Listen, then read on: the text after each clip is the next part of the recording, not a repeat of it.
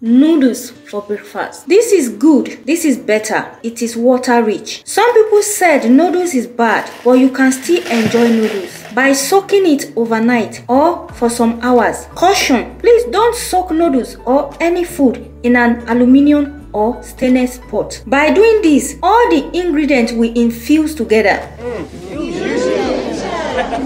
yeah, fusion. The noodles become very soft. It's more filling, easy to digest, rich in nutrients, which is beneficial to the stomach. Drink a lot of water daily, they said. But you can't just be drinking water aimlessly. If you drink water aimlessly, you will pee aimlessly. But you can eat water-rich food to hydrate your body instead of drinking water over dry food. Also, drinking different types of pepper soup, which Oyibo people call broth, after fasting cannot be overestimated.